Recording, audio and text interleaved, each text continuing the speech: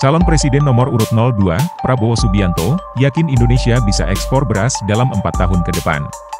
Pengamat pertanian Syaiful Bahari menyatakan, bahwa optimisme Menteri Pertahanan itu tidak realistis, klaim sepihak, dan bombastis. Menurut dia, akan sulit bagi pemerintah membuat Indonesia menjadi negara pengekspor beras dan mandiri pangan, apabila kebijakan di hulunya masih carut-marut.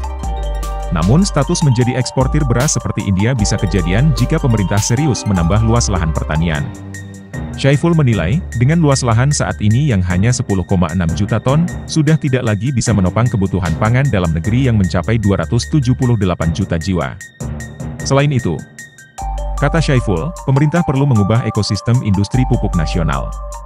Menurut dia, semestinya pemerintah tidak lagi mengandalkan badan usaha milik negara atau BUMN sebagai produsen dan pemasok kebutuhan pupuk petani.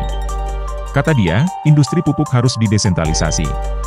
Agar petani mendapatkan pupuk dengan harga terjangkau, meski tanpa subsidi, katanya saat dihubungi pada Rabu, 6 Maret 2024. Dia juga menyatakan bahwa semestinya pupuk berbahan organik sudah harus dikembangkan.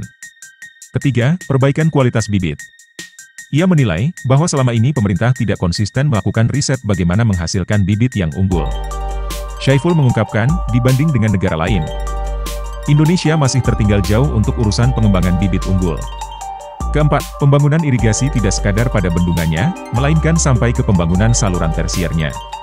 Sebab, kata Syaiful, tidak ada gunanya membangun bendungan sedemikian besar, jika tidak menyediakan saluran tersiernya yang menjangkau ke seluruh pelosok desa. Sebelumnya, Prabowo Subianto yakin bahwa Indonesia mampu mengekspor bahan pangan dalam empat tahun mendatang. Optimisme ini dia utarakan dalam agenda Mandiri Investment Forum 2024 di Hotel Fairman, Jakarta pada Selasa, 5 Maret 2024. Download Tribun X sekarang. Menghadirkan lokal menjadi Indonesia.